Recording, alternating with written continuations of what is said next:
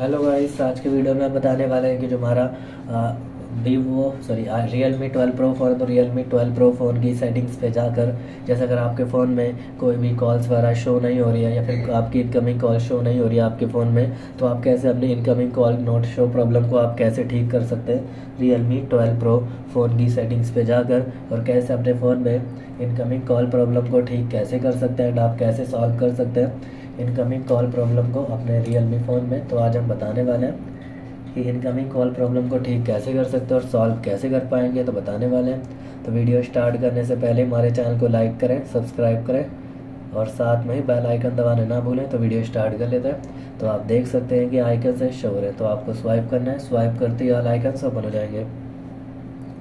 Simply आपको इसमें से जाना होगा सेटिंग्स पे। क्लिक करते ही सेटिंग्स से ओपन हो जाएगी। जहाँ से आपको फ़ोन आइकन्स पे जाना है ऐप्स आइकन्स पे जाना है। फिर आपको ऑल ऐप्स पे जाना है। फिर आपको यहाँ से फ़ोन आइकन से यहाँ पर मिल जाएगा फ़ोन मैनेजर सेटिंग देख सकते हैं। तो फ़ोन मैनेजर पे जा फ़ोन आइकन्स पे चले जाना, जहाँ से जो भी फ़ोन का डाटा होता है, पहले तो क्लियर कर देना है क्लियर करते ही, फिर उसके बाद आपको जो भी फ़ोन परमिशंस होती है, उसको अलाउ कर देना है नोटिफिकेशन परमिशंस को अलाउ कर देना है यहाँ से। जैसे अगर नोटिफिकेशन परमिशन ऑफ़ है तो अलाउ कर देना है। फिर इसके बाद आपको बैक कर लेना है, जिससे आपके फ़ोन में फ़ोन फ़ोन्स की जो भी कॉलिंग से शो होने लगेगी। नहीं तो आपको फ़ोन मैनेजर पे जाकर फ़ोन मैनेजर डाटा को भी क्लियर कर देना है। जिससे डाटा क्लियर कर दिया आपकी फ़ोन की जो भी incoming call not show problem है सॉल्व हो जाएगी और इनकमिंग कॉल आपके फ़ोन पे शो होने लगेगी।